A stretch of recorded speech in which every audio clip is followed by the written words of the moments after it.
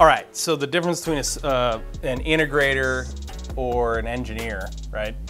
Integrator, engineer, and a solutions architect, uh, developer, right?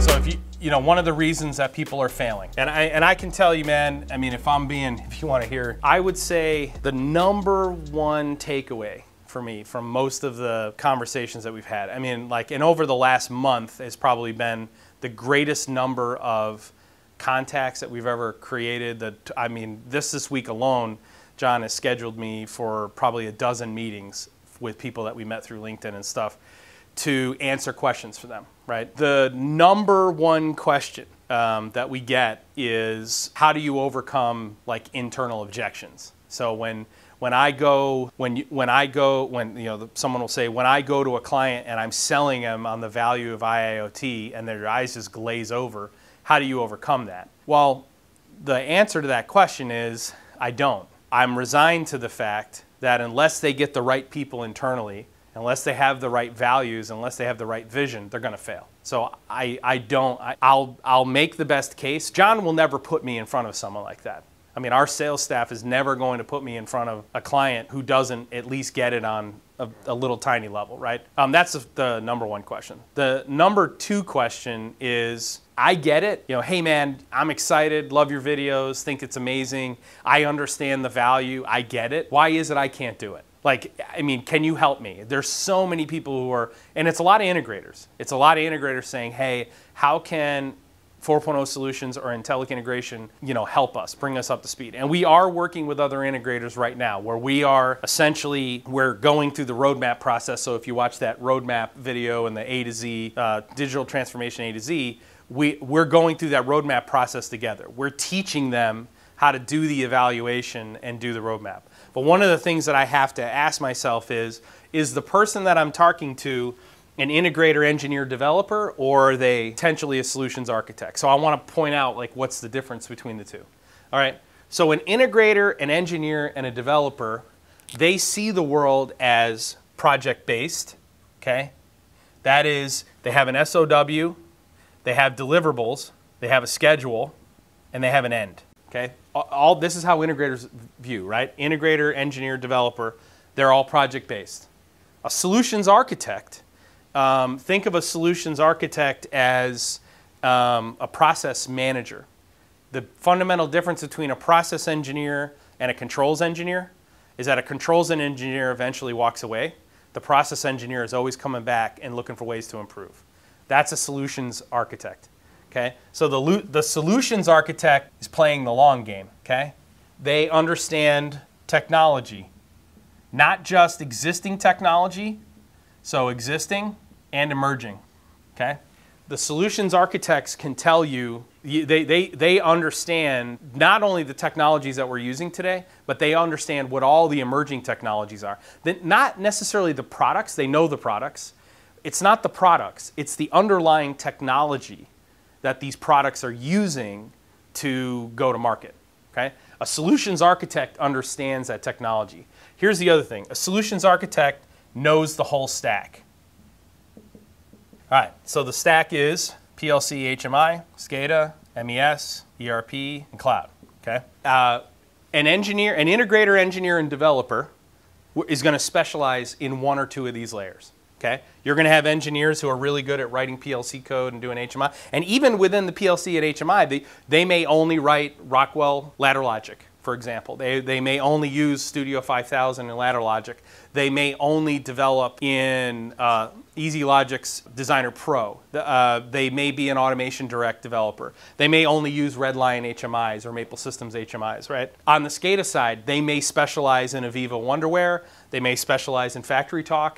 The, the integrator engineer developer is specializes in one or two you know, one or two of these layers. Go to a systems integrator, they're going to have a business intelligence person. That business intelligence person is really only going to know these two pieces. And if they know those two pieces, they're only going to know SAP and, uh, and Wonderware MES or FactoryTalk MES, right? So um, they're not going to know everything.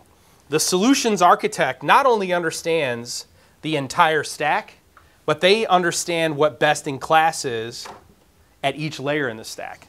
That's a solutions architect. Okay, you know, best in, uh, the best thing, the, best way to say it is is that best in class is not necessarily one product.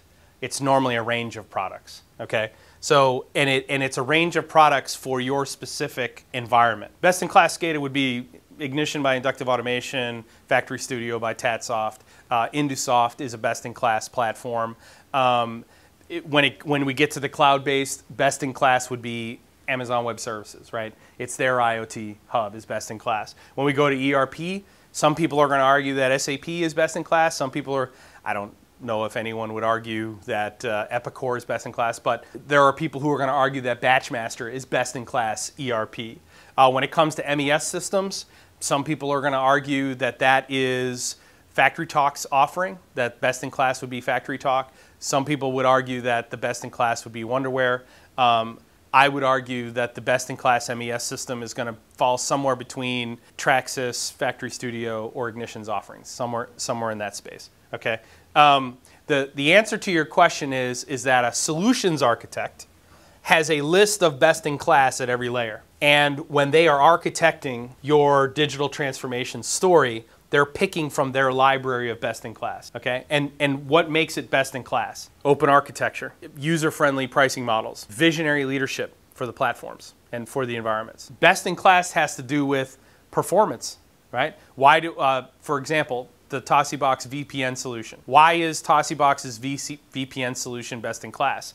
It's because its price point is correct, their vision is correct in terms of their executive leadership is going in the right direction in terms and what, what's happening is they're taking industrial VPN to the cloud that this overarching cloud layer that allows you to give to essentially create virtual private networks on the fly. So you can connect the entire world if we want to. They they've drawn a vector that's taking them in the right direction. But also but most importantly it's the ease of use and the performance. That's why Tosibox is best in class. Why is ignition or Factory Studio best in class at the SCADA layer. It takes three minutes, easy to download. Um, it's, co- it's completely open. It's a platform for solving problems. It's speed, it plays nicely with everything. That's what makes it best in class. Okay. So, the, but the solutions architect knows the entire stack. Now, this is really what makes this makes it hard to find solutions architects because most people have spent their whole career specializing in a layer in the stack. If you want to know how I ended up a solutions architect, it was my plan. My plan all along was to become a solutions architect. So when you look at the arc of my career, when I started out in mining, okay, as an electrician, as an and a controls engineer, I moved from mining and I went into the printing industry. So I went from a slow speed dirty process to a high speed dirty process where I was a controls engineer. Then I went from printing to the steel industry and I took a huge pay jump to go to the steel industry. And in fact, but I took a step back in title. But part of the plan was I needed to understand that process. I needed to understand how things worked on the floor. Then I went for, and I worked for an elite steel company for five years. Then I went from steel to automotive, and I, I took a 50% pay cut to go from steel to automotive. But I went to automotive because the, the heavy industry challenges that you face in steel are not the same as the light industry challenges you pay you play in the tier one automotive space.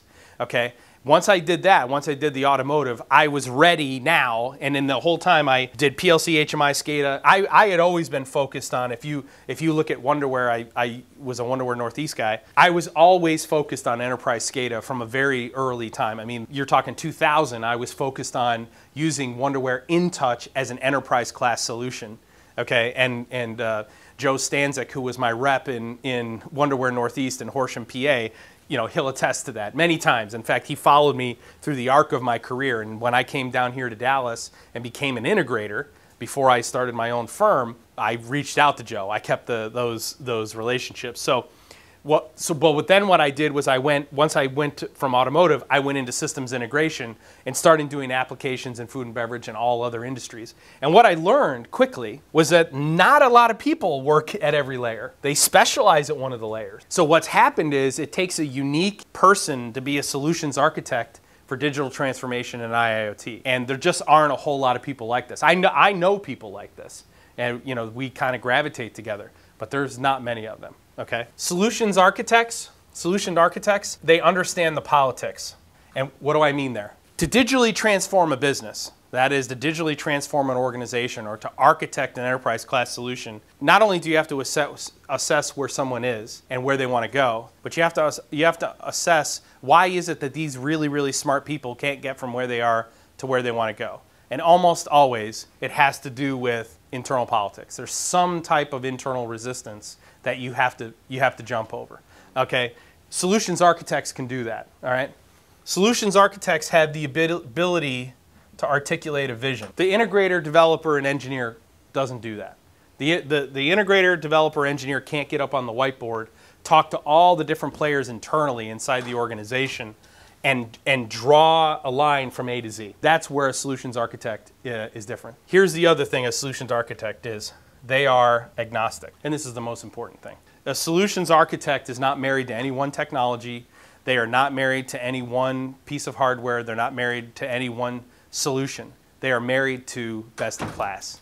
And best in class changes in and out. But best in class is based on the technology. And the solutions architect is committed to the long game and is committed to evolving organizations with as the technology evolves, right? That's what solutions architects do, right? Anyway, that's the difference between an integrator, an engineer, a developer, and a solutions architect.